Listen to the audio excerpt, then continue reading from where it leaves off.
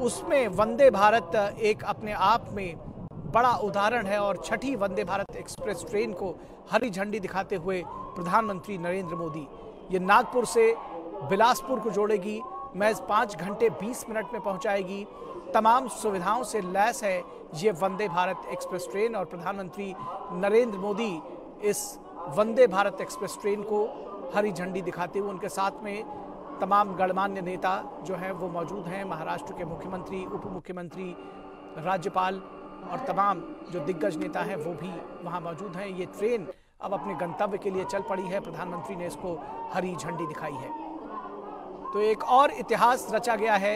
इस वक्त नागपुर में हाथ हिलाकर यात्रियों का अभिवादन करते हुए प्रधानमंत्री जो यात्री हैं वो भी बेहद उत्साहित हैं। इस पहली बार इस ट्रेन में सफ़र करके, यात्रा करके। तो वंदे भारत, छठी वंदे भारत की सौगात देश को मिली है। नागपुर से बिलासपुर जाएगी वाया रायपुर और महज पाँच घंटे बीस मिनट में ये यात्रा तय होगी, जो सात घंटे, आठ घंटे की पहले यात्रा होती थी। वो इस शानदार, सुविधाजनक ट्रेन में महज पाँच घंटे बीस मिनट में तय हो सकेगी। प्रधानमंत्री नरेंद्र मोदी जो यात्री बैठे हैं, वो हाथ हिलाकर उनका अभिवादन कर रहे हैं और प्रधानमंत्री भी उनका अभिवादन स्वीकार कर रहे हैं। बेहद महत्वपूर्ण क्षण है ये, इस लिहाज से भी कि भारतीय रेलवे में जो आमूल चूल परिवर्तन की शुरुआत की बात कही गई थी, वो अब उसका मूर्त रूप में वो दिखाई पड़ने लगी है और एक के बाद एक वंदे भारत ट्रेनें हम देख रहे हैं कि लगभग हर महीने किसी न किसी स्थान पर वंदे भारत ट्रेन को चलाया जा रहा है। और अगले तीन वर्षों का जो लक्ष्य रखा गया है, वो 400 वंदे भारत ट्रेनें चलाई जाएँगी। पूरे देश भर में 27 से अधिक रूट्स पर इनको चलाया जाएगा।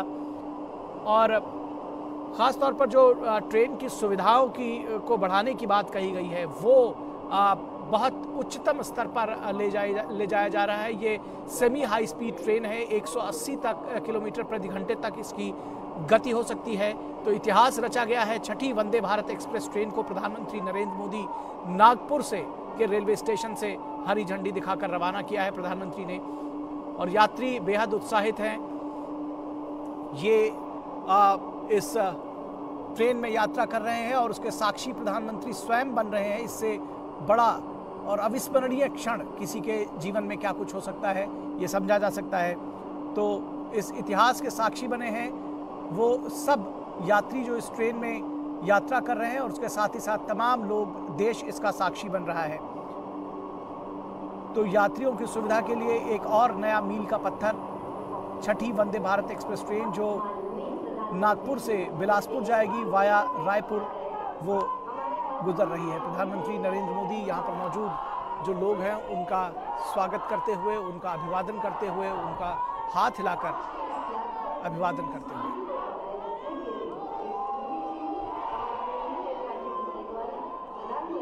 एक नाथ शिंदे, महाराष्ट्र के मुख्यमंत्री, राज्यपाल, केंद्रीय मंत्री नितिन गडकरी, उप मुख्यमंत्री और प्रधानमंत्री को रेलवे से जुड़ी हुई एक तस्वीर भी यहाँ भेंट की जा रही है, जिसमें रेलवे की जो एक, जो विकास सुविधाएँ हैं, उसका खाका पेश किया जा रहा है। बेहद महत्वपूर्ण है ये क्षण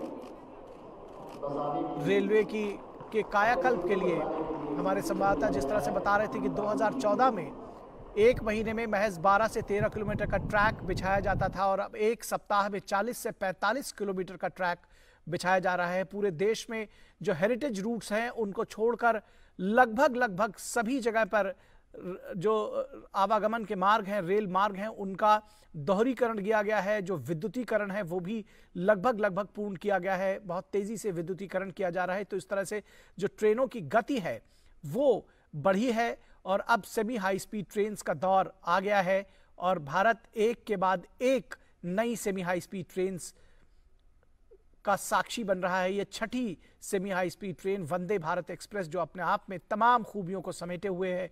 प्रधानमंत्री नरेंद्र मोदी ने नागपुर के स्टेशन से उसको रवाना किया। बिलासपुर तक जाती है ये ट्रेन जाएगी।